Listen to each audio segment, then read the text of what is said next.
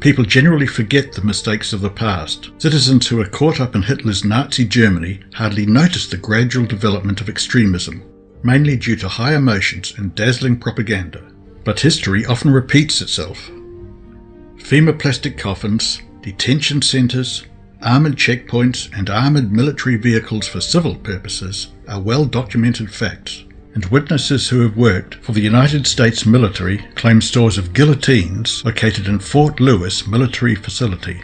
The latest revelation of Obamacare sanctions death by guillotine, code ICD 9E978.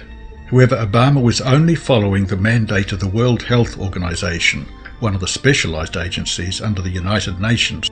Is the United States government getting ready for a fascist quasi dictatorship involving forced religion, it would not be the first time that fascism and counterfeit Christianity have merged. Fascism and Catholicism have become synonymous throughout history. Recent developments have seen so called Protestantism clasping hands with the Vatican.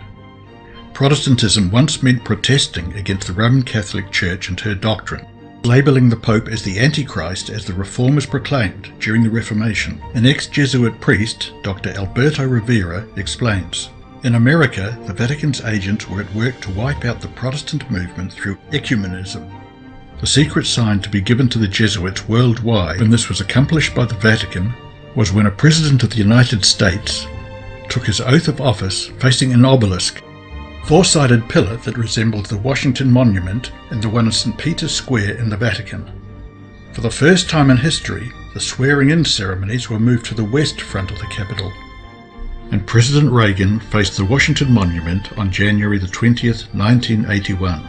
For those who are unfamiliar with the Jesuit order, it was the Catholic answer to counteract the Reformation sparked in 1517. Loyola Ignatius's formula for the formation of the Jesuits was approved by Pope Paul III in 1540. Napoleon Bonaparte had this to say about the Jesuit order. The Jesuits are a military organization, not a religious order. Their chief is the general of an army, not the mere father abbot of a monastery. And the aim of this organization is power. Power in its most despotic exercise. Absolute power, universal power, power to control the world by the volition of a single man. Jesuitism is the most absolute of despotisms, and at the same time the greatest and most enormous of abuses. The general of the Jesuits insists on being master, sovereign, over the sovereign. Wherever the Jesuits are admitted, they will be masters, cost what it may. Their society is by nature dictatorial, and therefore it is the irreconcilable enemy of all constituted authority. Every act, every crime, however atrocious, is a meritorious work, if committed for the interest of the society of the Jesuits or by the order of the general. The Vatican has historically used civil powers in past ages as she does today. Kings, dictators, presidents and prime ministers bow and scrape to the most powerful and richest organisation on the planet, because it is politically expedient to do so. The Roman Catholic Church is secretly tightening her grip on geopolitics and the autonomy of nations who are secretly serving the Pope. Pope John Paul II and President Reagan worked together bringing about the collapse of the Soviet Union, with the first blow being the breaking down of the Berlin Wall. After years of the Vatican being accused of being un-American, the United States and the Holy See announced the establishment of diplomatic relations on January 10, 1984, under the Reagan administration. The Senate confirmed William A. Wilson as the first US ambassador to the Holy See. The alliance between the United States and the Vatican benefited both political powers. The Cold War and Marxist atheism made the Vatican and the United States unlikely bed partners. As US presidents are well aware of the authority the Vatican wields, with just over 1.1 billion Catholics spread throughout the world, Jesuit educational facilities also spread and indoctrinate both Catholic and non-Catholic students with Jesuit maxims around the world shaping the minds of future leaders so the Vatican is truly a force to be reckoned with. Some idea of the real estate and other forms of wealth controlled by the Catholic Church may be gathered by the remark of the New York Catholic Conference, namely that his church probably ranks second only to the United States government in total annual purchase. Another statement, made by a nationally syndicated Catholic priest, is perhaps even more telling. The Catholic Church, he said, must be the biggest corporation in the United States. We have a branch office in every neighborhood. Our assets and real estate holdings must exceed those of Standard Oil, AT&T, and US Steel combined. And our roster of dues-paying members must be second only to the tax rolls of the United States government. Avro Manhattan. The Central Intelligence Agency was the creation of Roman Catholic Knights of Malta member Allen Dulles. In recent years, CIA NSA directors have been Catholic Jesuit educated men. Historically, the confessional was the biggest intelligence gathering machine of the Vatican. But now electronic surveillance has superseded the confessional as the single most effective tool of modern times, giving the edge on business, politics, and religion. A Catholic has first duty to the Pope before loyalty to a king, queen, or country. Perhaps this is why many misgivings are expressed about Roman Catholics holding positions that pertain to national security. Furthermore, we declare, we proclaim, we define that it is absolutely necessary for salvation that every human creature be subject to the Roman Pontiff, Pope Boniface. The Roman Catholic Church has always been savvy influencing armies to do her bidding because wars cost money. Let's take a look at the leaders that the Vatican has used in the past to achieve her religio-political ends. King Clovis I, who united the barbarian tribes that eventually became the Franks, and then enforced the rule of the Roman Catholic Church during the decline of Rome after Emperor Constantine moved the capital of the Roman Empire to Constantinople. King Charlemagne enforced Catholicism and was then crowned emperor by Pope Leo III at Christmas in 800 AD. King Charles IX ordered the St. Bartholomew's Day massacre of the Huguenots, French Calvinist Protestants, beginning on the 23rd of August 1572 in mostly Catholic Paris.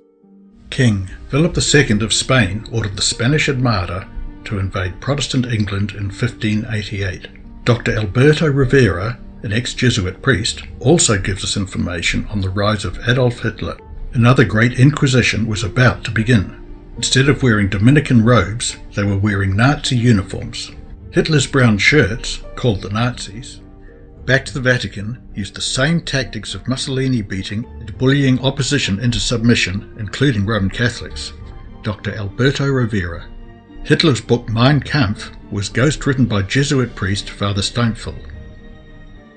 When it became known that Pope Pius XI supported Hitler, the Roman Catholic vote swept Hitler into power in 1933. Jesuit Father Himmler, an uncle of Heinrich Himmler, was a favourite of Jesuit Father General Count Halke von Ledochowski.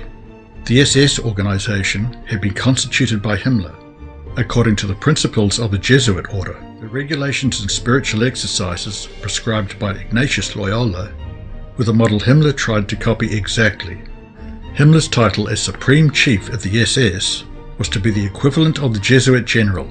The whole structure was a close imitation of the Catholic Church's hierarchical order. Walter Schellenberg Munich University was founded with papal approval in 1472 and was previously the University of Ingolstadt. Eventually becoming a stronghold of the Jesuit order, the university also became the centre of the Counter-Reformation Jesuit Petrus Canisius was the rector of the university. Both Adam Weishaupt, the founder of the Illuminati, and Pope Benedict XVI were educated here. Interesting enough is that Pope Benedict XVI was a member of Hitler Youth. Joseph Mengele was an SS Nazi doctor who also was educated at the Jesuit-controlled Munich University. Mengele identified himself as a Catholic and assigned himself to Nazi Germany's racial purity project which reached its climax at Auschwitz. He was called Uncle Mengele by the children whom he handed lollies to. Sadly, they were experimented on a short time later. The inmates who suffered at the hands of Mengele often died from shock and infection. In 1933, communications between the Nazis and the Vatican were welcomed by the Vatican's Secretary of State, Eugenio Cardinal Pacelli, a former papal diplomat to Berlin. During an elaborate ceremony on July the 20th, 1933, a concordat between the Holy See and the German Reich was officially signed and sealed by Vice-Chancellor Franz von Papen and Cardinal Pacelli. Hitler had a dream of a one-world government.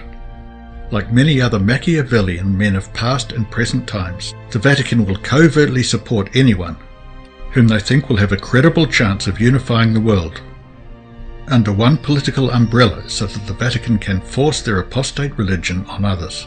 The Guardian reported, as well as other sources, collaboration between the Nazis and the Vatican, helping war criminals escape the end of World War II. Dictator of Spain, General Franco, who championed the causes of Catholicism, fighting communism, using torture and execution to crush enemies or dissenters, while many are distracted by the false front of Zionism the Roman Catholic Church has infiltrated and commandeered the United States without the public being aware. It is obvious that the US Constitution is eroding under the influence of the Jesuits, the crack troops of the Vatican. Breach of Amendment 6. NDAA Indefinite Detention Act without trial is an extension of the Patriot Act. Crafted by Jesuit Georgetown University educated Professor Viet Dinh. The assassination of foreign nationals as well as US citizens abroad by predator drones, is also a breach of the Sixth Amendment.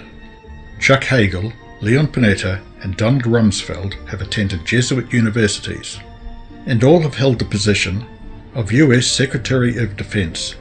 The mighty and widely ramified Order of St. Ignatius was powerful enough to procure by its interest far greater advantages to individuals than could any other corporation, fraternity, or even secular power. Jesuit General Jean-Baptiste Janssens. Breach of Amendment 4, spying on US citizens without warrant. Former NSA Director General Michael Hayden and incumbent NSA General Keith B. Alexander are both Roman Catholics and tools of the Jesuits. General Michael Hayden was also educated at a Jesuit university. Revelations from Edward Snowden reveal just how widespread this illegal surveillance extends itself. Many nations are holding conferences on how to counteract this problem. Public outrage has been expressed in places like Germany, but it seems that some German government departments, like BND, have implicit involvement with the NSA. Many governments portray disapproval publicly to the media, but secretly aid and abet US spy agencies. Breach of Amendment 2, the right to keep and bear arms. Michael Quigley, educated by the Jesuits, sponsored an amendment to the Patriot Act prohibiting the sales of weapons to people on the FBI terrorist watch list. The trouble is that the FBI now regards some protesters and independent journalists as a threat to national security, therefore deemed terrorists. The First Amendment is on the Roman Catholic Jesuit hit list and is of supreme importance to the Vatican. Amendment 1 Congress shall make no law of the establishment of religion. When the Protestant movement broke away from the Roman Catholic Church, Protestants still honoured the Roman Catholic institution of Sunday. The Protestant reformers never completely severed the umbilical cord from the papacy. In this quote, the Roman Catholic Church makes sport of Protestants for contradicting their beliefs. Protestants accept Sunday rather than Saturday as a day for public worship, after the Catholic Church made the change. But the Protestant mind does not seem to realise that Observing Sunday, they're accepting the authority of the spokesman of the Church, the Pope. Our Sunday visitor, February the 5th, 1950. By the annihilation of the First Amendment, the Vatican can sweep many other religions and beliefs into a web of deception and control, making Muslims, Buddhists, Protestants, and any other religion bow down in honour to the Vatican, therefore Satan himself. Acknowledging her day of Sunday or Sun Worship Day that was not kept by any of the disciples or any of the early churches, comprising Gentile or Jew.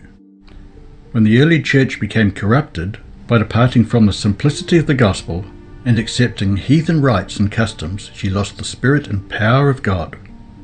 And in order to control the consciences of the people, she sought the support of the secular power. The result was the papacy, a church that controlled the power of the state and employed it to further her own ends, especially for the punishment of heresy.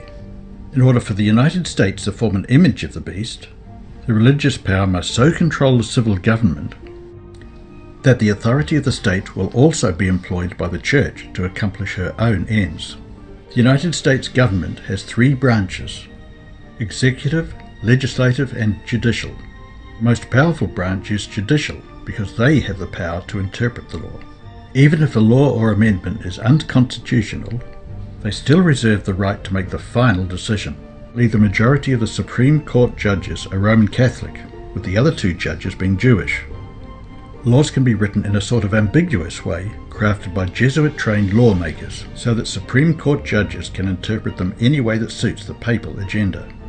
There are hidden laying dormant in many of the states of America insidious blueprints for the enforcement of Sunday law, and a gross breach of the First Amendment. Blue laws are used, which refers to laws enacted by the Puritan colonies in the 17th century to prevent recreational or commercial activities on Sunday. And during the 19th century in America, some southern and midwestern states passed laws to protect Sunday as a day of worship both on a state and local level.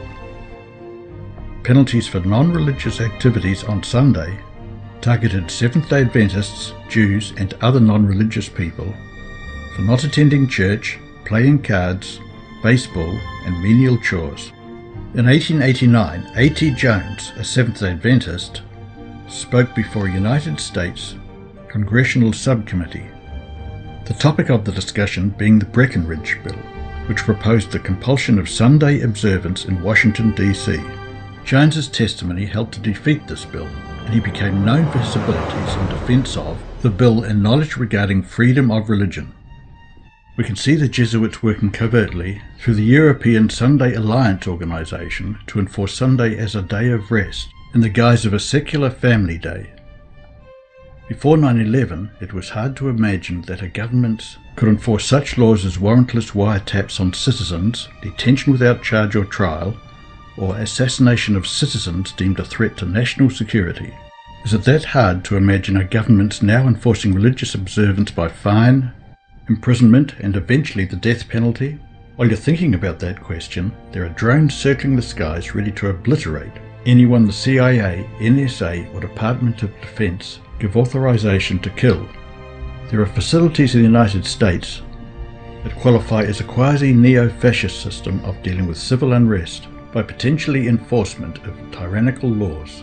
FEMA the Federal Emergency Management Agency sounds eerily similar to the Committee of Public Safety, which beheaded many during the French Revolution. Recent DHS advisors and secretaries like John Brennan and Janet Napolitano are Jesuit trained. Jesuit education was described by Jesuit General Pedro Arrupe in these terms. Jesuit education would consist in the creation of multiplying agents. Lisa Monaco former prosecutor, was an advisor to FBI Director Robert Mueller and advised the DHS on counterterrorism during the false flag operation of the Boston bombing. Little do people know that Barack Obama was groomed by the Jesuits and worked in a Christian grassroots organization called the Gamaliel Foundation under the direction of Jesuit priest Gregory Galluzzo, who became his mentor.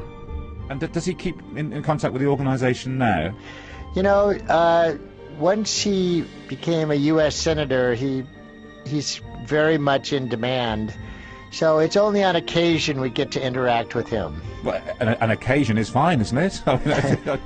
Once in office, Obama appointed many Jesuit trained people to key positions of US government.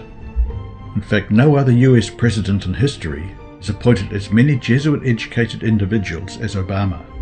Recently, the president recommended apologist for assassination of Americans, Jeh Johnson, as new Secretary of Homeland Security, seen here at Jesuit Fordham University. Jeh Johnson was appointed General Counsel of the Department of Defense and is considered one of the legal architects of the US military's current counterterrorism policies. Jeh Johnson is an American civil and trial lawyer so his legal experience allows him to make the US Constitution a very grey area which only lawyers have the talent to do. Jeh Johnson has made quotes such as, belligerents who also happen to be US citizens do not enjoy immunity, where non-citizen belligerents are valid military objectives. So as Jeh Johnson take the position of Secretary of Homeland Security, one must ask exactly what does the DHS have planned for the future considering his relevant experience. An alarming fact is that the French Revolution's Committee of Public Safety protagonists Louis Antoine de Saint Just and Maximilien Robespierre were Jesuit educated. This period had been labelled the Reign of Terror.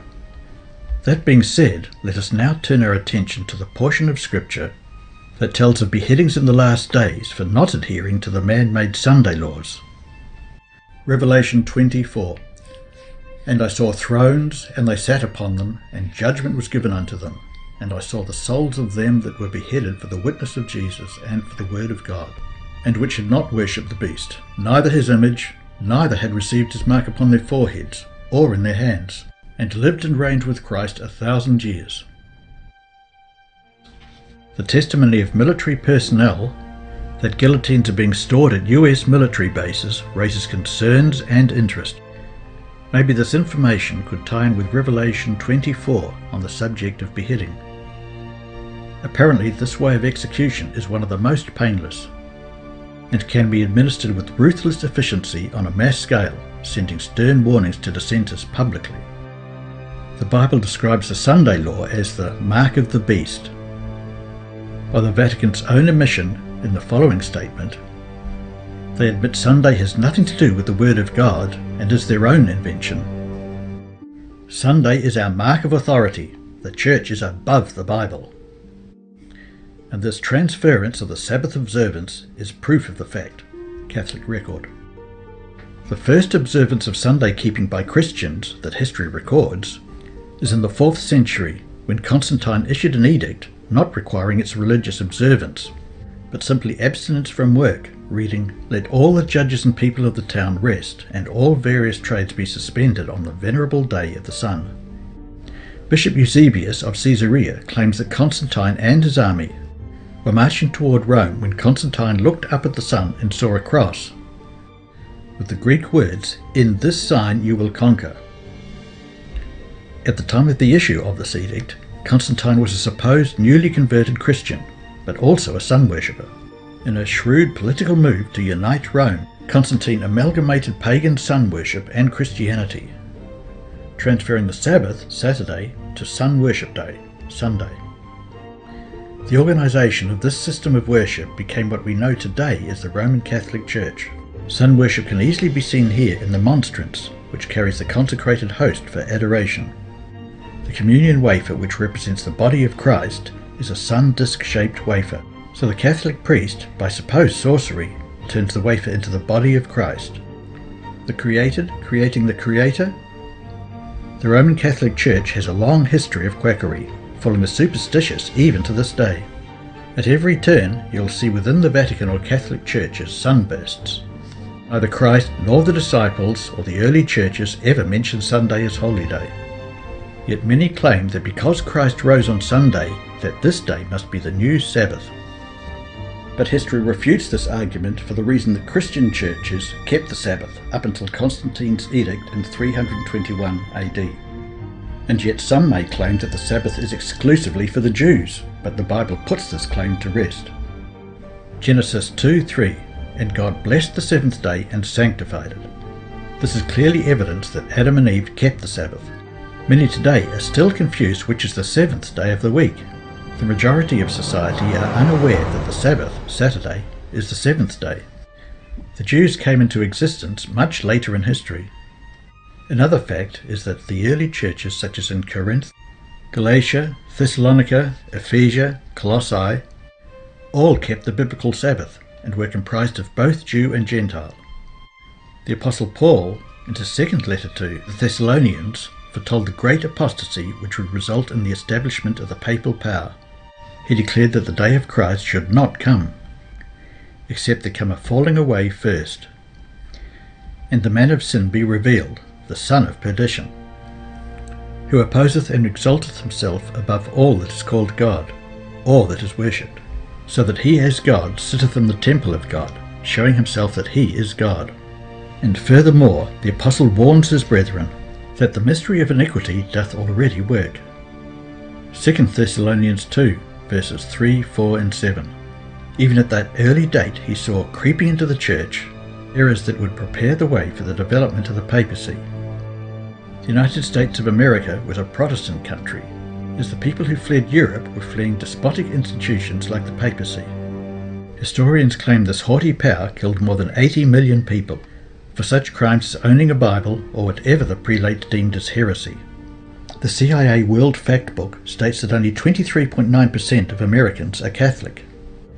But the US government is mostly either Catholic, Catholic controlled, or Catholic educated.